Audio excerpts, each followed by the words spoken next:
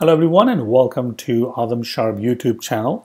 Now in this video I want to use AI, uh, ChatGPT, to create a very simple like a tip calculator app. Now I have been using AI and ChatGPT for quite some time now and I do use it in my projects and actually in my latest courses I am also showing you live that how I use it, like to refactor my code, get some database diagrams and all that stuff, uh, and also help with the CLI tools for Sequelize, for Node, Express.js, all of that stuff.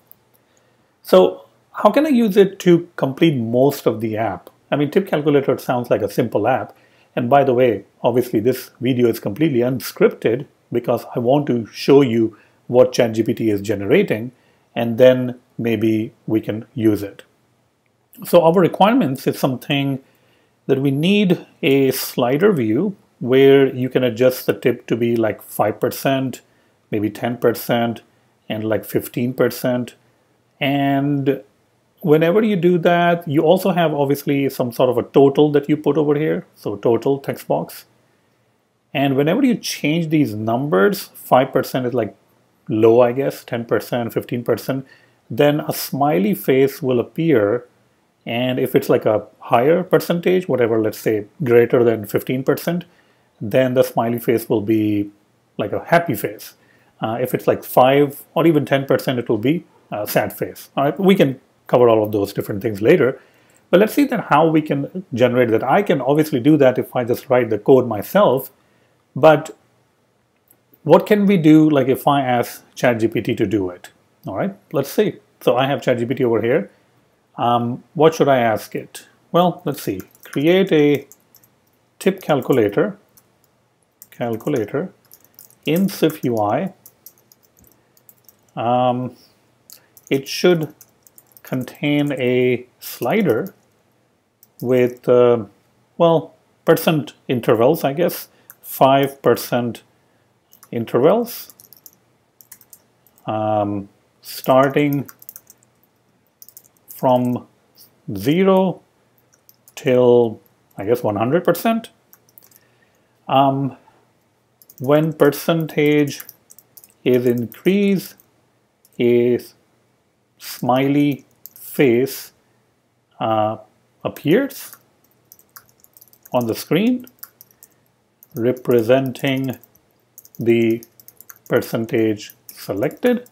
Now you can see I'm misspelling a lot of these things, but I don't think it really matters. Okay, so representing the percentage selected, 5% to 10% will be a uh, unhappy face, and uh, you know anything over than 10% will be a uh, happy face. Also add a text box to allow user to enter total amount. All right, well, let's see what it uh, what it does actually. All right, that's perfectly fine. Okay, oh, wow, oh wow, okay. Mm, slider view. I don't really see any slider view right now. Maybe it's going to add that. Okay, there we go. It's adding a slider view.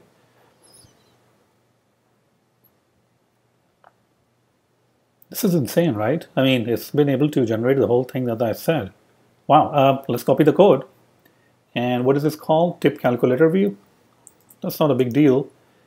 Uh, we can go over here. This is fine. I think I just have to go over here and say tip calculator view. That will be my root view, tip uh, calculator view. Okay, yeah, that's still called content view, but whatever. Let's see if it uh, generates that. Wow. Okay, I'm already impressed, but let's see. Uh, $100. Tip amount is zero. Okay, yeah, it's going by five. Wow. I mean, okay, that's uh, pretty good, right? I mean, yeah, I guess you can use more of these smiley faces because it's right now it's only like two of them. Um, I don't know what they're called, like uh, medium face or, you know, but there you go. We were able to generate the whole tip calculator in like a couple of seconds. Wow, this is uh, insane, right? So that's pretty cool. That's pretty interesting. So let me know how you like this video because I what I'm planning to do is to use ChatGPT to create more complicated apps. Now those apps will, I would say I like for those apps to be at least 90 to 95% ChatGPT generated. And those can be in like different apps. So It can be like surf data apps or maps app, map apps, and some sort of app that create, I mean, uh, you know, get the data from an API, like a real apps. Uh, I mean, Tip Calculator is kind of cool, but it's uh, obviously a very simple app. But I think it's a it's a good start. I mean, if we look at the code, code also looks looks fine to me. I mean, it's not like something crazy going on. It's uh, well documented. It's a, it's a nice code. Yeah, I would probably use, I wonder if uh, it can actually help me use the correct formatters over there, right? Uh, I wonder if I can ask ChatGPT, but what would I ask ChatGPT? Uh, can you update this to use the correct format option for text using currency all right, let's see. Well, don't update the whole thing. I already gave you the code.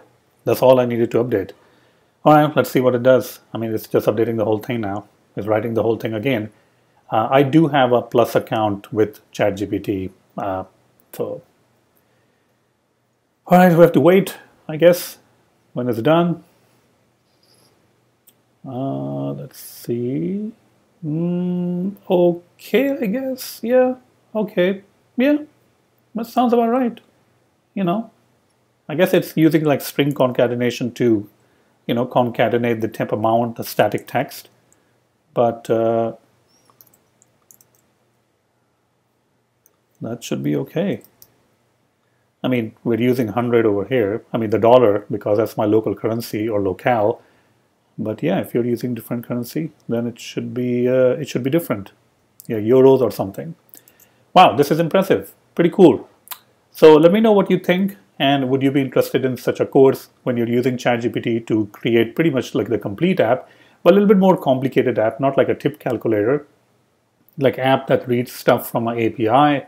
The app can uh, should another app can be a near me app where you can find near near taco or pizza stores and the other app can be like a surf data app for budget management you know so let me know hope you have enjoyed it thank you so much